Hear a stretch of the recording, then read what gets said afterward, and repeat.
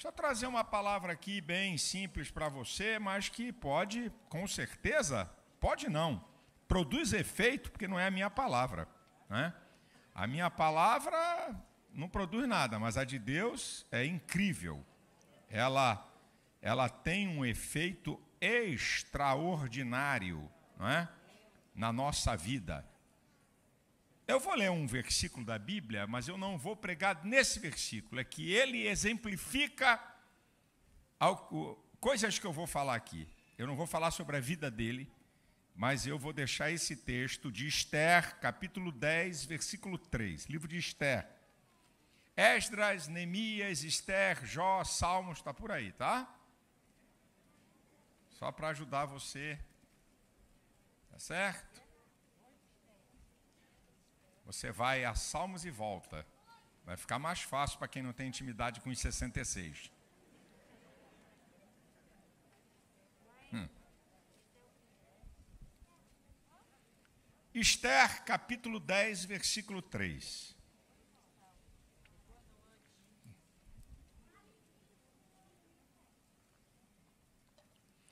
Porque o judeu Mardoqueu foi o segundo depois do rei Assuero grande para com os judeus, agradável para com a multidão de seus irmãos, procurando o bem do seu povo e trabalhando pela prosperidade de toda a sua nação.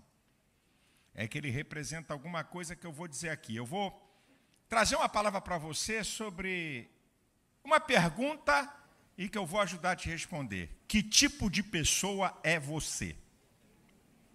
A minha palavra é uma pergunta: que tipo de pessoa é você? A verdade, o que nós somos, tá?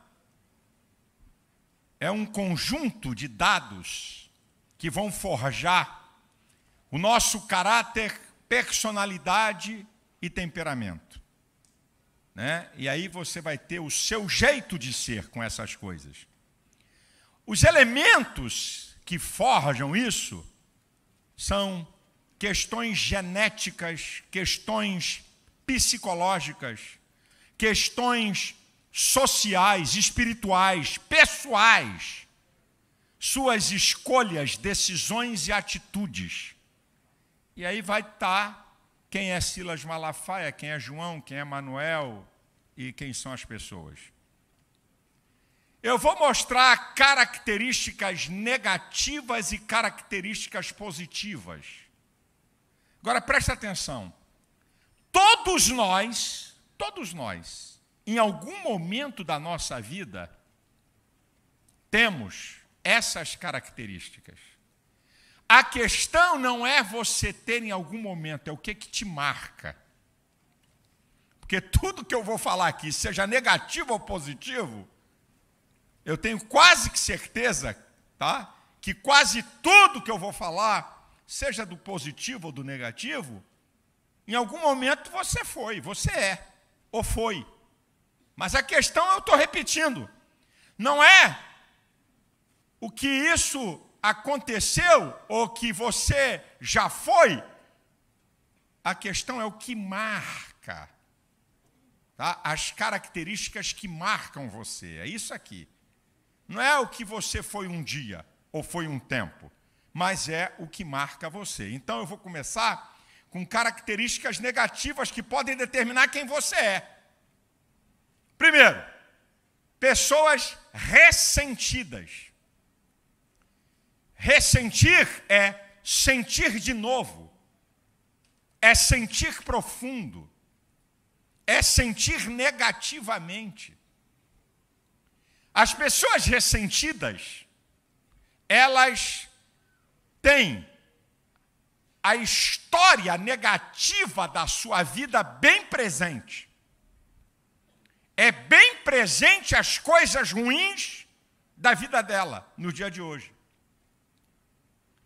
As pessoas que são ressentidas, essas pessoas têm uma ferida aberta na alma e são os verdadeiros não me toques.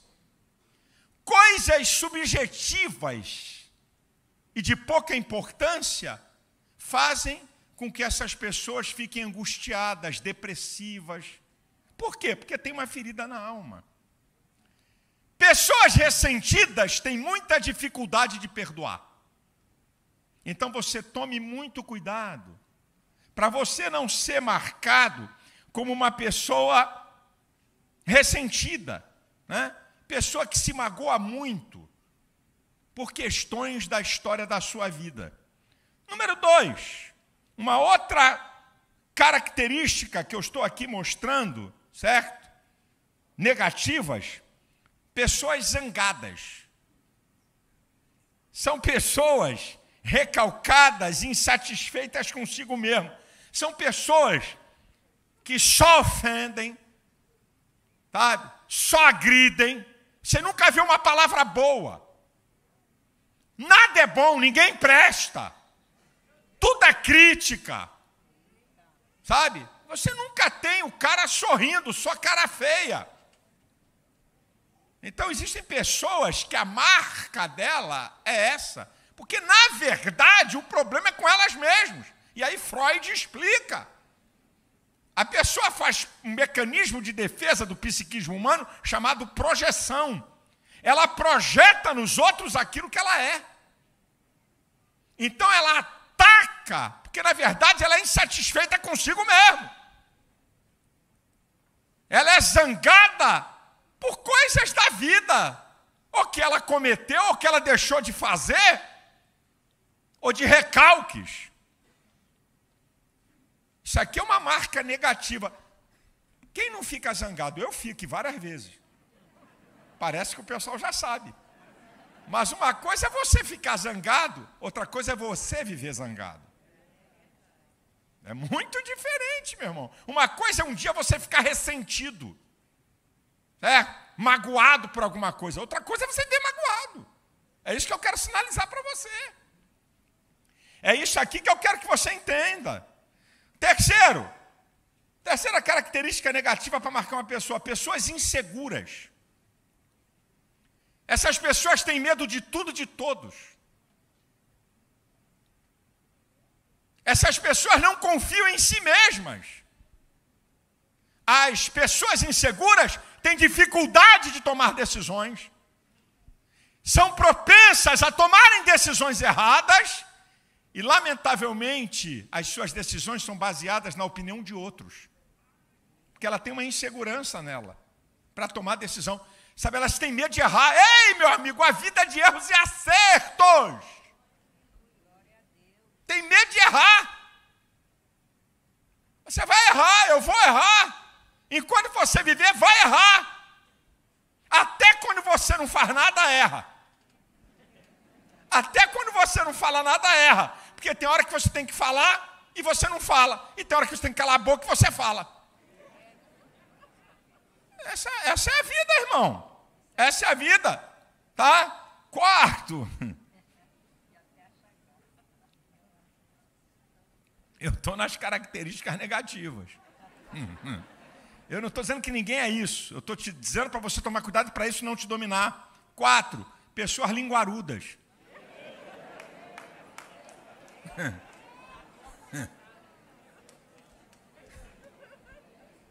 Pessoas linguarudas, irmão. O linguarudo, ele tem essas marcas aqui, tá? Falam demais. Falam na hora errada e falam o que não devem falar. Isso aqui é marca, gente, de linguarudo. Fala demais fala o que não deve falar e fala na hora errada. Lucas 6,45 diz que a boca fala o que o coração está cheio. A boca é o porta-voz do teu ser, mente, vontade e sentimentos. Hã? É a nossa boca, meu irmão. É a nossa boca. Hã? A palavra de Deus, né, ela nos diz em Provérbios, no capítulo 21, versículo 23, que aquele que guarda a sua boca e a sua língua livra a sua alma de muitos males. Provérbios 25, 11 diz que as palavras ditas a seu tempo, como maçã de ouro em salvas de prata, assim são as palavras ditas a seu tempo. E eu gostaria de informar que Mateus capítulo 12, versículo 36 e 37, palavras de Jesus, diz que nós vamos dar conta por todas as nossas palavras. Pela palavra vamos ser julgados, pela palavra vamos ser condenados e pela palavra vamos ser justificados. Olha bem, muito cuidado o que você fala, de quem você fala e o que, é que você anda falando. Eu estou vendo hoje uma geração. Eu estou vendo, eu não estou falando de ímpio, não, irmão. Eu esquece, eu não estou nem aí. A minha preocupação, e preocupação no sentido exato da palavra, não em relação à minha pessoa. A preocupação que eu vejo hoje é a falta do temor a Deus dessa geração para falar mal, para caluniar, para xingar pastores e crentes pelas redes sociais. Sabe? É um negócio assim espantoso. Espantoso. Como se ele estivesse falando de um ímpio qualquer, ou de uma pessoa qualquer. Esse negócio é muito sério, meu irmão, julgando os outros por causa de, de uma montagem de rede social, fazendo julgamentos terríveis. Isso aqui é sério, meu irmão. Isso é muito sério. Isso não é uma coisa, isso não é uma brincadeirinha, não. Isso é sério pra caramba, meu irmão. A pessoa vem, camarada tem uma história de vida limpa, comete um pequeno erro, o cara vem, larga o aço, esculhamba, xinga, e é crente, é membro de igreja. Um pastor defende uma tese teológica que não é de acordo com a dele, é mercenário, é caído, esses caras estão mexendo com o que não pode. Estão mexendo com coisa que é, quando eu olho para a Bíblia e vejo Davi não querendo tocar em Saul, Saul desviado, desviado, endemoniado, mau caráter, perseguindo implacavelmente Davi, e quando o cara está na mão de Davi, e a turma está toda, teve até profecia, só faltou língua estranha que não tinha na época. Mas quem estava em volta de Davi, leia 1 Samuel capítulo, 20, capítulo 24, capítulo 26. Vai lá para você ver. Esse é o dia que o Senhor entregou o seu inimigo na tua mão. Só faltou papai. Só faltou isso. Eis aí, meu servo, o dia que Deus coloca na tua mão esse desgraçado que está querendo te matar. Qual é a resposta de Davi? Quem é que toca no ungido do Senhor e fica impune? A resposta de Davi é incrível. Ele tinha discernimento espiritual. Problema de ungido não é problema meu, é problema de quem ungiu. Problema de ungido é problema de Deus. Cuidado, filho, com a sua língua, viu? Muito cuidado. Quinto, não tem ninguém aqui Disso aqui eu sei que não tem. Essa característica negativa. Pessoas invejosas. Deixa eu dizer uma coisa para você. É, a pessoa invejosa, ele tem pesar pelo sucesso alheio. Sabia? Ele deseja possuir o bem alheio. O invejoso, ele não quer alguma, alguma coisa parecida que você tem, ele quer o que você tem. O invejoso não quer ser parecido com o que você é, ele quer ser o que você é. O invejoso, ele não quer fazer uma coisa parecida com o que você faz, ele quer fazer o que você faz. E a Bíblia mostra, no Salmo 73, que é um salmo que fala que um homem quase se desviou por causa da inveja do ímpio. Lá na altura do versículo 21 e 22, ele diz assim: O meu coração se azedou, a inveja produz amargura. Era como um animal perante ti, fiquei embrutecido, ignorante, atitudes irracionais. Provérbios 14, 30 diz que o coração alegre serve de bom remédio, mas a inveja é a podridão dos ossos doenças psicossomáticas. A inveja traz doenças. Gente que tem inveja, esse miserável, essa desgraçada, esse miserável. Como é que ele está tendo sucesso? Como é que ele está conseguindo? Quebra a cara, miserento. Hum? Sexto, isso aqui são características negativas para você ficar esperto. Pessoas estressadas.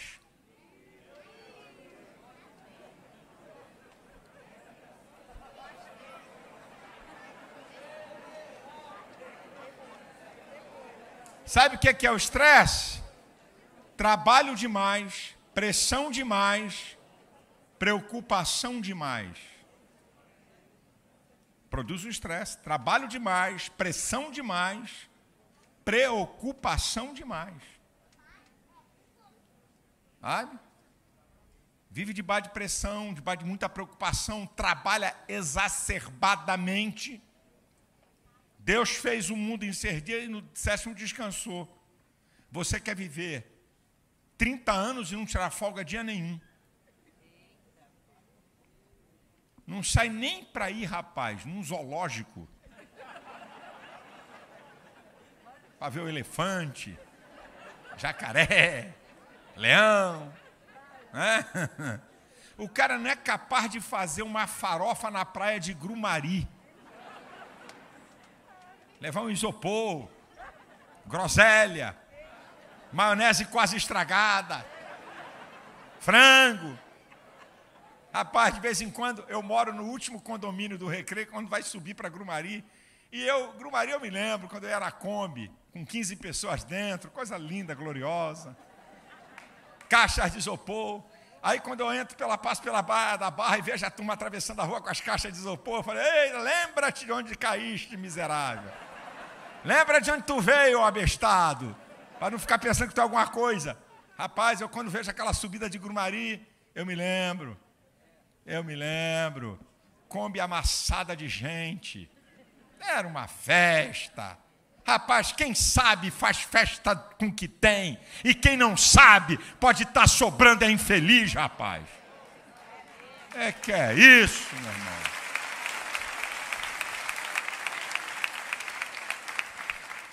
E também as pessoas estressadas não é só por causa de muito trabalho, muita pressão e muita preocupação. Perfeccionistas. Todo perfeccionista vive estressado. Tirei nove e meio. Por que eu não tirei dez? Eu não aceito, eu não aceito. Pessoas perfeccionistas. Tudo tem que ser 100%. Tudo. Desejar fazer o melhor é uma coisa. Mas essa neura Aí sabe o que, que vai acontecer? Sono perturbado, vida perturbada. Pessoas que vivem estressadas, sono perturbada, vida perturbada, não dormem direito, não vivem direito, não raciocinam direito. O estresse. Eu ontem fui no médico, meu médico, que eu vou de vez em quando.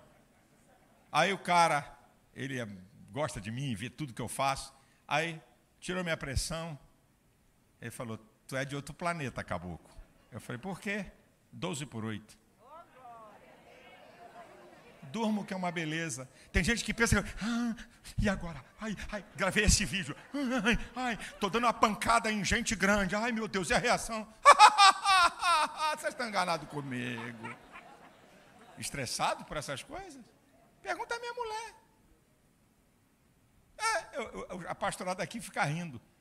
De vez em quando eu estou na sala e estou tomando pressão de um lado e de outro, e nego em telefone e nessas questões que eu me envolvo. Ali, na sala ali, antes de eu chegar para pregar, não me, não me deixo em paz muitas vezes. Acabou a conversa, eu venho aqui, abro a Bíblia, prego, prego numa boa. Ai, meus irmãos, olha, eu, hoje estou com dificuldade de pregar porque recebi um telefonema ali de uma autoridade dou esculhambação, dou pancada, rabo de arraio, tesoura voadora, pescotapa. Depois entra aqui. Vamos abrir a palavra de Deus, aleluia, vamos pregar. Tem gente que está enganado comigo. As pessoas confundem meu temperamento com estresse. Se eu fosse estressado, não dormia direito, não comia direito. Se eu fosse estressado, eu tinha problemas de pressão alta o tempo inteiro. Estou só dizendo para vocês. Em último lugar, para mudar o disco aqui, uma marca. Pessoas pecadoras. Não estou falando de pecado, porque pecado eu cometo, você, peca, você também. É pessoas que vivem no pecado. E muitas vezes, pessoas que vêm para a igreja, pessoas que conhecem o Evangelho, pessoas que vêm cultuar a Deus, só que estão vivendo uma vida de hipocrisia e farisaísmo, porque quando sai da igreja comete todo tipo de torpeza igual as pessoas lá de fora. São características negativas. Sabe qual é o resultado das características negativas? Desse tipo que eu falei aqui, se essas coisas dominarem você, ou algumas delas te dominarem, porque tudo que eu falei aqui, de vez em quando a gente passa. De vez em quando eu estou estressado. De vez em quando eu falo uma coisa que não era para falar, então estou falando demais. Certo? Estou falando demais. De vez em quando. Estou dizendo, eu estou falando de mim. Pode ser que de você sejam outras. Tá? Ressentimento é uma coisa dificílima acontecer comigo. Mas comigo, de vez em quando, de vez em quando. Agitado por alguma coisa. De vez em quando. Mas uma coisa é ser de vez em quando. Outra coisa é marcar a tua história de vida. Sabe qual vai ser o resultado? Se essas coisas negativas forem a marca da sua vida, vai consumir suas energias. Seu potencial vai ser neutralizado. Pessoas vão se afastar de você. Seus sonhos vão por água abaixo. Em relação a uma vida de pecado em destaque, você vai viver separado de Deus. Porque Isaías 59, 1, 2 diz que a mão do Senhor não está encolhida, nem seus ouvidos agravados. Mas o que faz separação entre vós e o vosso Deus são os vossos pecados. É o pecado que separa o homem de Deus. A santidade de Deus repele a vida de pecado. E a Bíblia diz em Romanos 6, 23 que o salário do pecado é a morte. Isso aí. O resultado de viver uma vida de pecado é o inferno distanciamento eterno de Deus. Não está falando quem peca, é quem vive. Vamos mudar o disco? Vamos lá. Deixa eu falar algumas características positivas. Ah, aleluia, glória a Deus. Mas se eu falar características positivas, você não aprende para você evitar as negativas. Para você se policiar. Porque todos nós passamos por muitas delas que eu falei, inclusive eu. E se eu bobear, eu fico agarrado nelas. Não é você não, sou eu. Vamos lá. Vamos então para as características positivas. E uma que eu gosto: coragem. Pessoa corajosa. Eu, pessoa aqui, talvez até repita, não precisa nem eu falar. O que é coragem? Domínio do medo, resistência ao medo, mas não ausência do medo. A diferença do corajoso para o medroso é que o medroso é dominado pelo medo e o corajoso domina o medo, mas também tem medo. Então, coragem. O que Deus falou para Josué três vezes: ser corajoso. Não disse para ele, ser espiritual. Hum? Nós confundimos muitas coisas, irmãos. Nós achamos que o mundo da vida de um crente é só o espiritual. Não tem mundo biológico, não tem mundo psicológico, não tem mundo sociológico. Vai ver Deus, Deus, não é, não é profeta, não, Deus. Ser forte e corajoso. Não falou nenhum elemento espiritual. Depois ele vai falar. Mas ele fala dos elementos naturais, humanos, mais do que o espiritual. Josué, ser corajoso. Você vai ter medo, mas enfrenta, encare. Porque a coragem, você vai derrubar o medo. E o medo não vai te paralisar, porque uma das coisas mais terríveis do medo é a paralisia do nosso potencial. Então, aqui é uma característica positiva: você ser uma pessoa corajosa. Dois, uma pessoa sincera, transparente, que fala o que sente, que fala a verdade. Provérbios 10, 9 diz que a pessoa que é sincera vai ter uma vida segura. Salmo 37, versículo 7 diz que a pessoa sincera, o seu futuro será de paz. E encaixe aqui, quando Jesus fala em Mateus 5,37, seja o vosso falar sim, sim, não, não. Porque o que passa disso é de procedência maligna.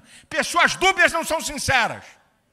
É, é, é, é, tá, sim, é, é. Qual é a música para a gente tocar?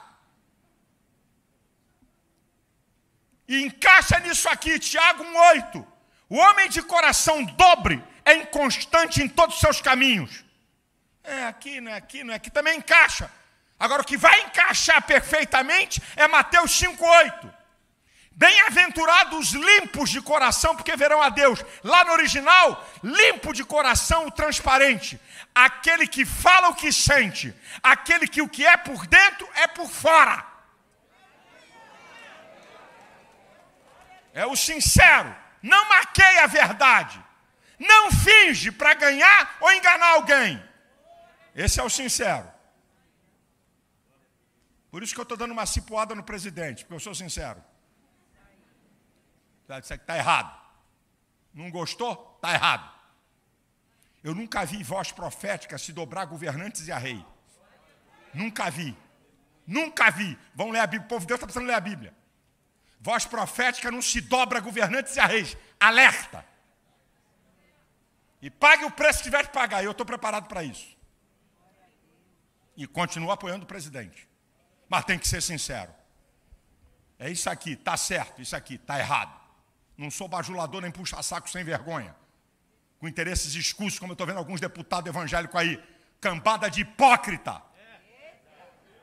Cambada de falso. Ah, só fazendo um joguinho para agradar, para ver se ganha algum cargo a mais. Eu sei o que é que eu estou falando.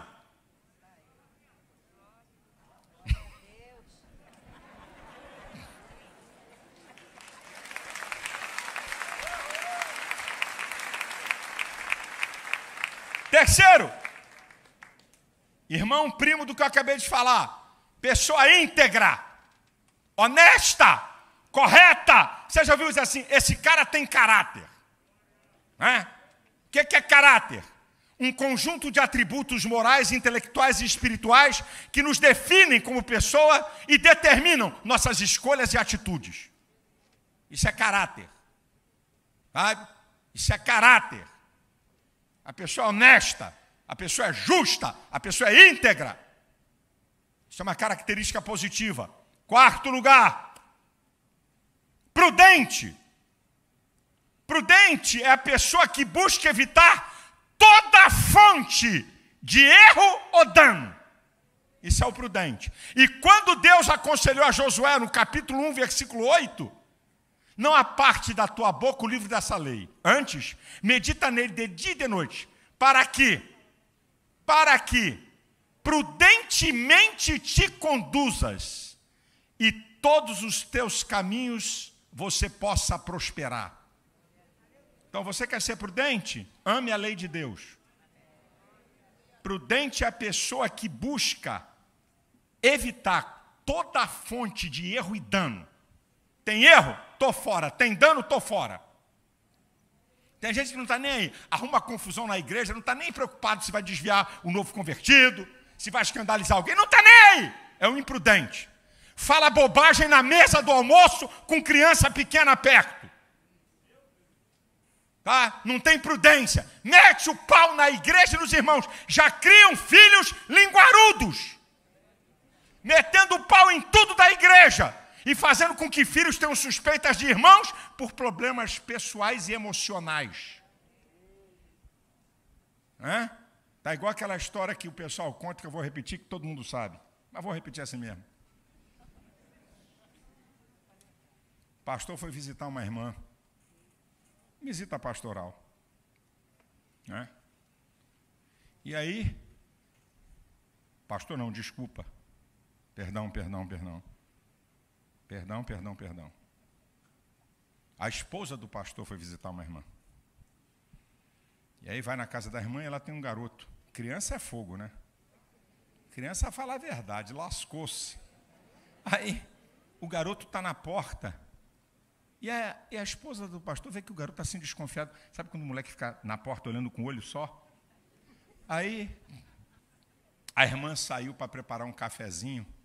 Aí o garoto botava o olho assim Aí a irmã falou: Vem cá, meu filho. O garoto corria. Aí daqui a pouco ele voltava de novo, botava o olho. Vem cá, meu filho, você está com medo de mim por causa de quê? Mamãe diz que você é uma jararaca.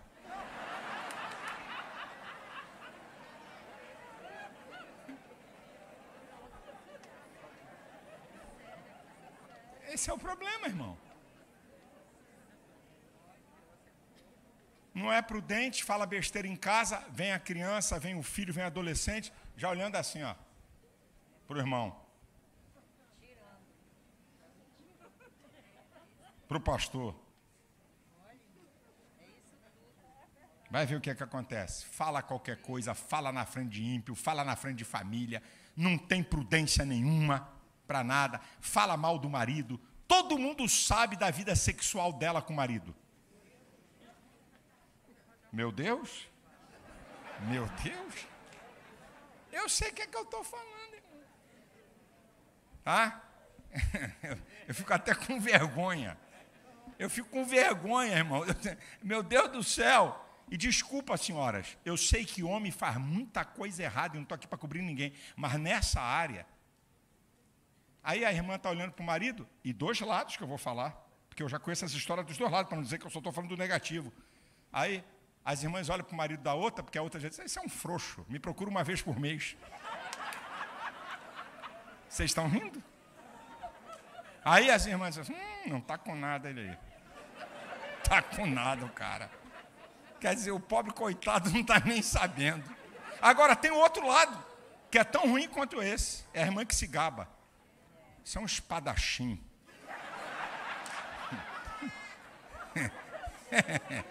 Isso me procura três vezes ao dia.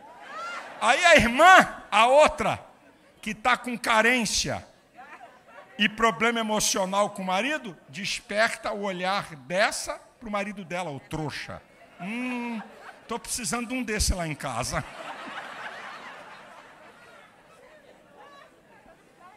Fica quieta, minha irmã. Tá de barriga cheia, vai dando glória a Deus. Tá de barriga vazia, peça ajuda ao Senhor.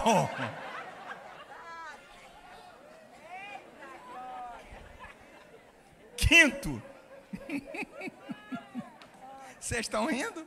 Eu sei o que, é que eu estou falando, eu sou pastor.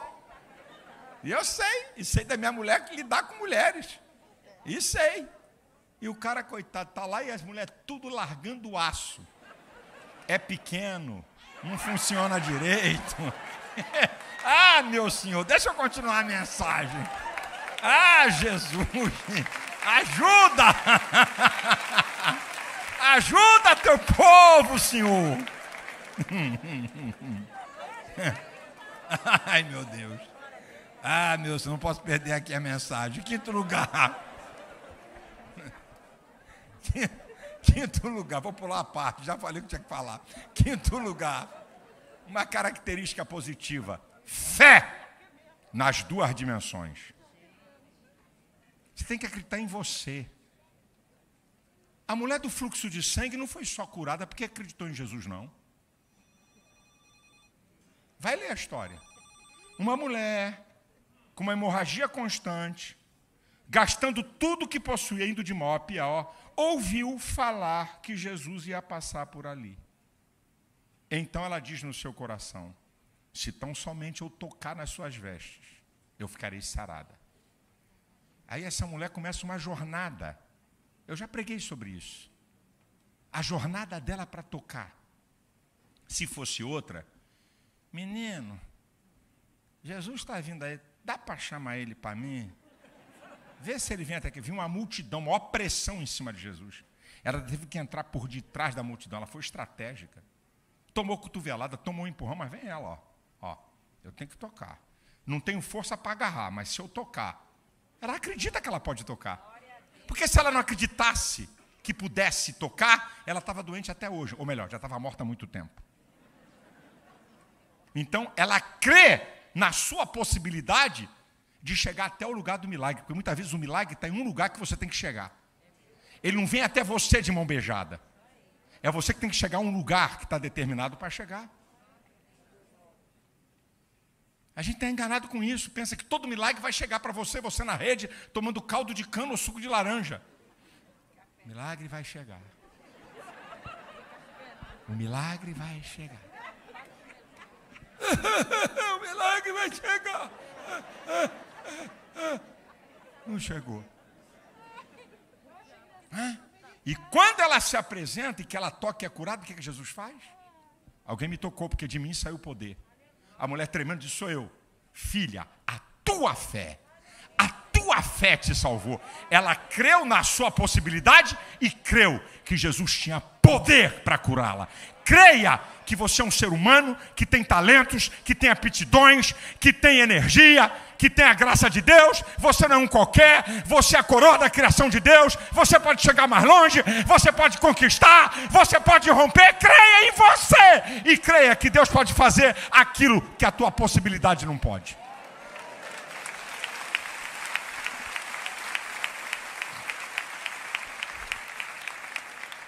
Sexto, penúltimo lugar, uma característica importante. Tem muita coisa de negativo ou positivo, mas tem que resumir por causa de tempo.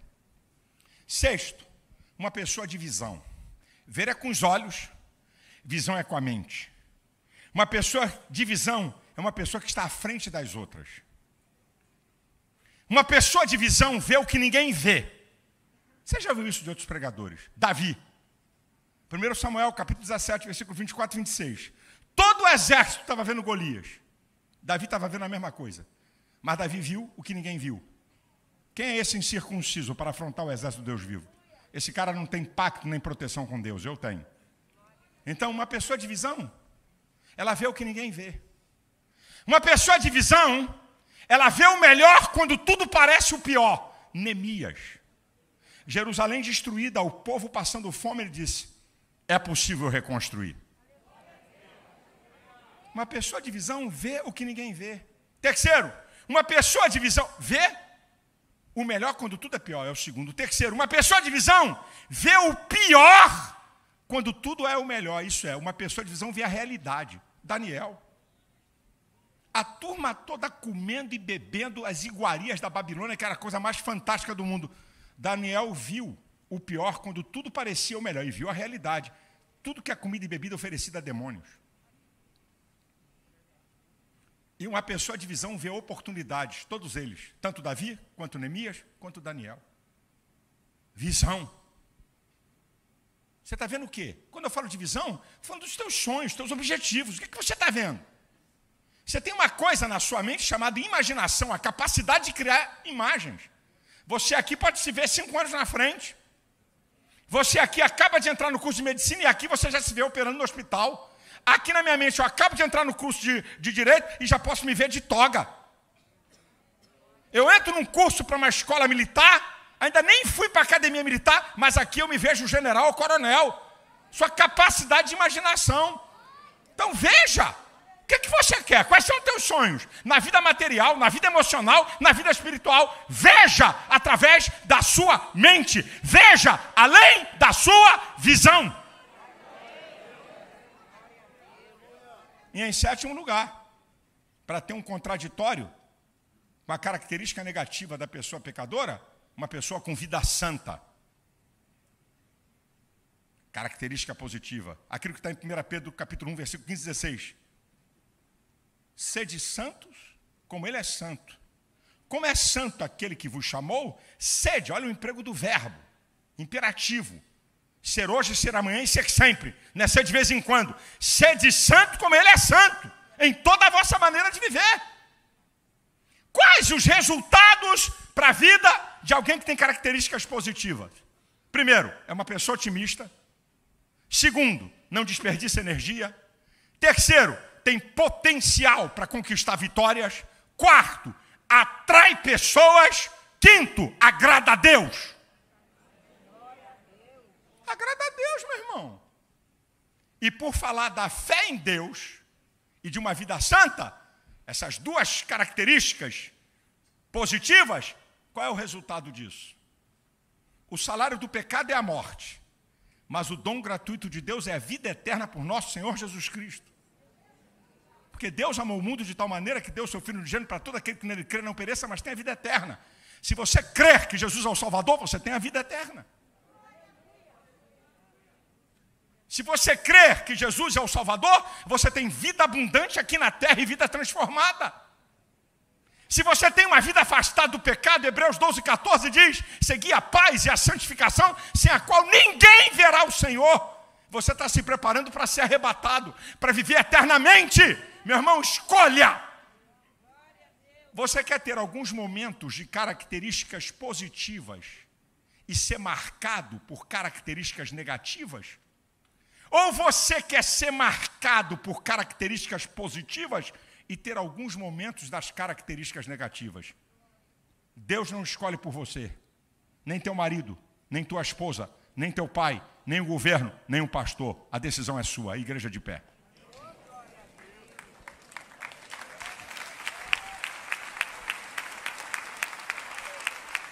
Não sai não, porque o culto não acabou, espera. Já vamos terminar. Já vamos terminar. Aprenda a não ter uma característica ruim. Crente que não espera culto acabar, mania. Sabe, é mania. Você veio cultuar a Deus, segura a tua onda e espera o final. Prestar culto não é pela metade. Você veio aqui, decidiu, ninguém te obrigou, então seja fiel à sua decisão. Fiel é uma outra característica positiva. Mas que não dá tempo aqui de falar e de tantas que eu podia falar aqui, tanto negativa quanto positiva. Mas nessa noite, eu quero fazer um convite para você passar a ter. Não estou dizendo que você não tem, mas passar a viver a fé em Deus através de Cristo. Quando você entrega realmente sua vida a Cristo, não estou falando de religião, não estou falando de minha igreja, estou falando de uma entrega pessoal. De você crer que Ele pode te salvar, perdoar teus pecados, transformar a tua vida para melhor. Eu quero orar por você. Se você crê que Ele pode te ajudar a vencer aquilo que está te destruindo, talvez alguém chegou aqui dominado por vícios malditos, não sabe como largar, e essa característica negativa está te destruindo. E você não consegue, para você ter uma vida santa, vida santa não é com a auréola, um cara inerrante, essa mitologia. Vida santa é afastado do pecado. Vida santa é afastado da prática do pecado em obediência com a palavra de Deus. Eu queria orar por você. Você precisa crer entregar a sua vida a Deus através de Cristo. E você que está afastado, você precisa voltar. Porque essa característica negativa de vida de pecado vai levar você para o inferno. E você sabe o que, é que eu estou falando. Você entende muito bem essa linguagem. Nessa noite, eu quero orar por pessoas que nunca tiveram um encontro pessoal com Cristo, algo real, profundo, pessoal. E por pessoas que estão afastadas do Evangelho. Frequenta igreja, vem a culto da vitória, mas você está afastado. Talvez há muito tempo você está afastado, há muito tempo você não entra numa igreja, o Espírito Santo te trouxe aqui. Deus tem um propósito com a sua vida. Eu queria orar por você. Ninguém vai te pegar pelo braço, ninguém vai te puxar do banco, porque é um ato pessoal para mudar a tua sorte, a tua vida. E se você quer, eu quero orar. E se você deseja, eu quero convidar você a pedir licença onde você está, descer da galeria, sair do teu lugar. Vem aqui à frente, eu quero orar por você. Não precisa ter medo, nem vergonha, nada disso. Eu quero orar por você. Venha. Deus te abençoe. Aqui, ó. Aqui embaixo. Isso. Eu quero orar por você. Deus tem um propósito na sua vida.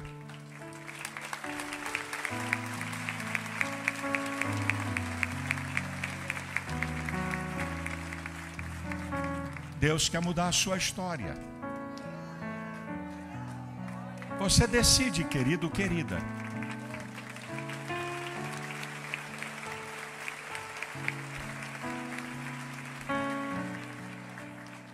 Eu não estou perguntando se você é evangélico. Você que não é e não pertence a nenhuma igreja evangélica, vem aqui na frente. Esse é o apelo mais estúpido que eu já ouvi. Porque não é a igreja evangélica que salva, é a pessoa entregar sua vida a Cristo. O cara pode estar na igreja evangélica e ir para o inferno, por uma vida errada. Se tem alguém aqui que não é da igreja evangélica, que conversa fiada, rapaz, eu estou te convidando para a igreja evangélica. Eu estou convidando você para ter um encontro com Cristo, para crer nele, que Ele pode te ajudar, que Ele pode te abençoar, que Ele pode te perdoar, que Ele pode te transformar. Não sou eu, é Ele. E um dia eu fiz a mesma coisa que você está fazendo, um dia eu também fui à frente. Eu não estou convidando alguém aqui para testar meu ibope, se gostar ou não da minha palavra. Isso aqui é um ato espiritual. Quando você sai do seu lugar diante do povo e vem aqui à frente, você está dizendo para Deus que você aceita, que você o quer. E aquele que não se envergonha dele diante dos homens, ele também não vai se envergonhar diante do Pai. E aquele que nega diante dos homens, ele o negará diante de Deus. É espiritual isso aqui. E esse povo que está aqui um dia fez isso também, como eu. Eu não estou falando para você fazer uma coisa que eu nunca fiz, não. Um dia eu também vim à frente dizendo: Eu quero, eu vou entregar minha vida a Cristo. Eu quero que Ele me mude, que Ele me perdoe, que Ele me transforma. Eu vou dar mais um minuto talvez alguém na galeria. Em nome de Jesus, não resista. Há uma voz aí no teu coração, e essa voz é a voz de Deus, não é a minha voz. É o Espírito Santo que está falando com você. Vamos! Sai do seu lugar em nome de Jesus. Ninguém pode te segurar aí. Ninguém pode te prender aí. Você é livre. E você está livre para decidir. Nem tua mãe, nem teu pai, nem ninguém. Só você pode decidir, nem Deus. Deus responde à sua decisão de negá-lo ou de aceitá-lo.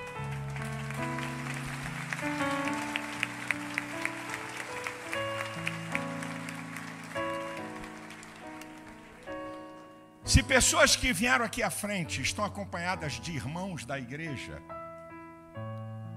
ou de algum irmão de outra igreja, eu gostaria que você entrasse com essas pessoas depois da oração. Se você está acompanhando essas pessoas, eu quero que você venha participar e entrar com elas aqui na área do aconselhamento. Eu vou orar por vocês e vou dar um livro meu de presente para vocês, um livro pequeno, fácil de ler, para te ajudar na tua caminhada.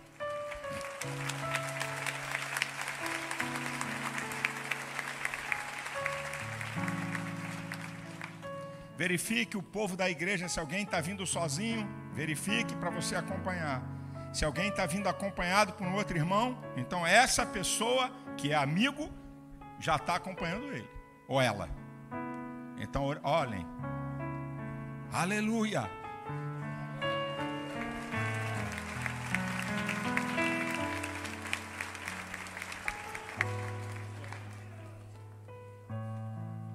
Dizer uma coisa para você que talvez você não entenda.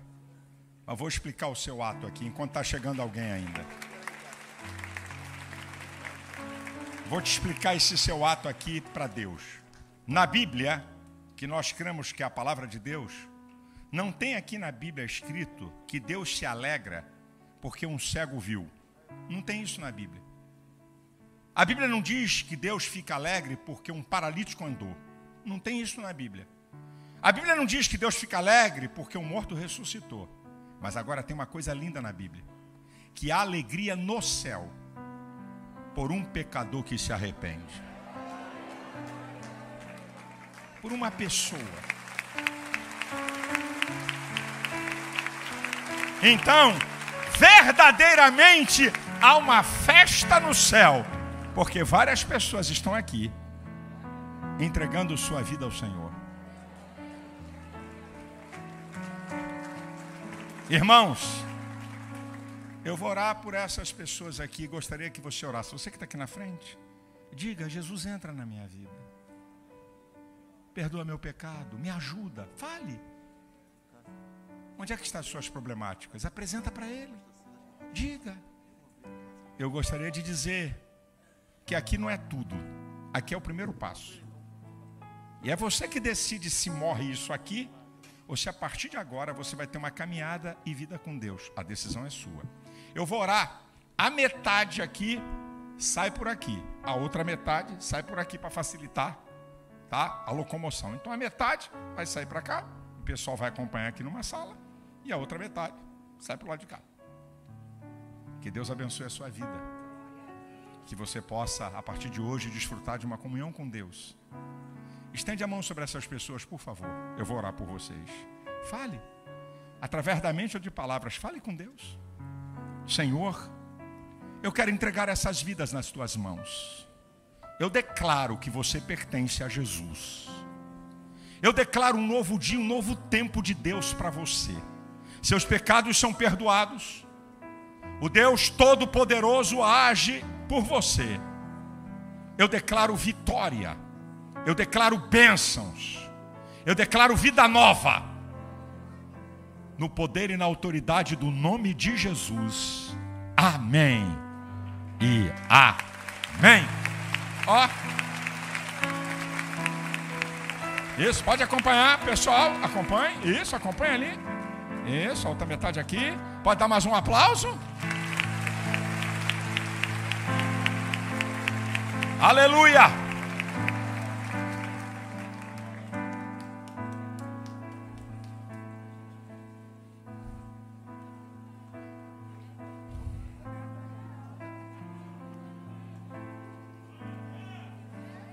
Se há alegria no céu, deve ter alegria na igreja por isso.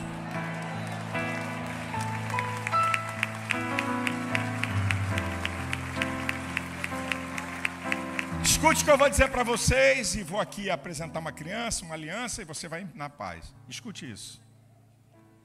Mais uma prova.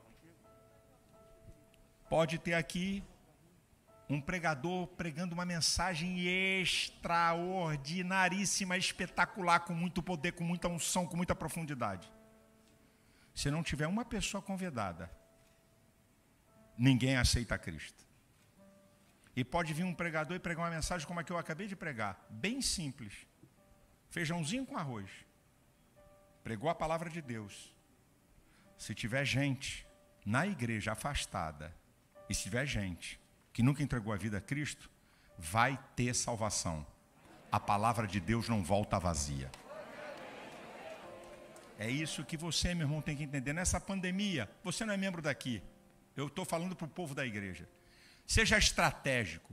Você conhece alguém da tua família, vizinho, colega de trabalho, está com um problema, sei lá, de doença, problema com família, problema conjugal. Diz para a pessoa assim, ó, aprende. Rapaz, você não precisa ser da minha religião, não. Vamos lá na minha igreja que eu vou fazer uma campanha. Eu vou fazer uma campanha com você. E você vai ver que Deus vai operar. Usa a tua fé. Tem um poder de autoridade na tua palavra, meu irmão.